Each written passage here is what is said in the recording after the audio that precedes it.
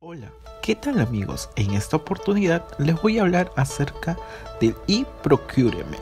¿Qué es el e-procurement?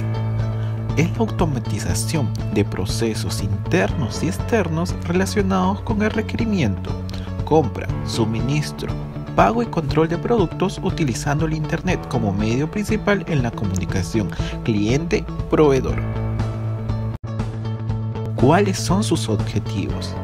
Es desmaterializar las transacciones comerciales entre las empresas y sus proveedores a través de soluciones digitales con el fin de optimizar el proceso de adquisición. ¿Cuáles son sus principales características? despliegue de la información tanto de inventarios, estado de pedidos, pagos, cobro, facturación, entre otros. Actualización en tiempo real de toda información. Acceso desde cualquier sitio a los datos. Acceso restringido para personal no autorizado. ¿Cuáles son las ventajas del e-procurement?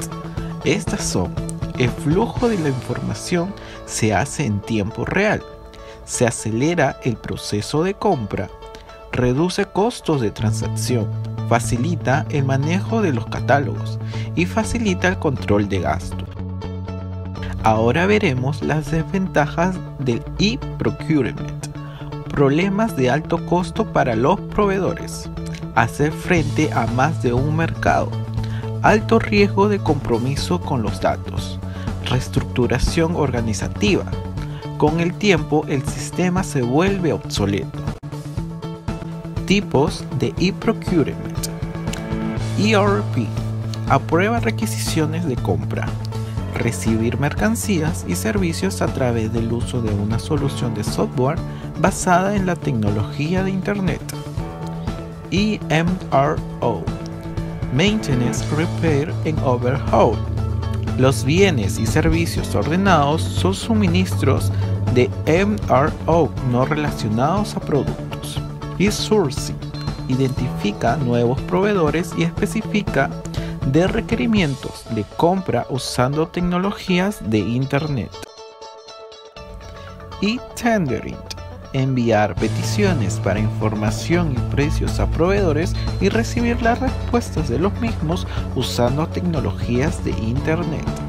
Y informing distribuir información de operaciones, tanto de como para entidades internas y externas, usando tecnologías de Internet. Y reverse auctioning, usar tecnologías de Internet para comprar bienes y servicios de un número de proveedores conocidos o desconocidos. A continuación veremos empresas y procurement. Tenemos a Amazon, eBay, Alibaba, Apple, Rakuten, Walmart. Muchas gracias amigos, espero que les haya servido de mucho. Hasta la próxima. Bye.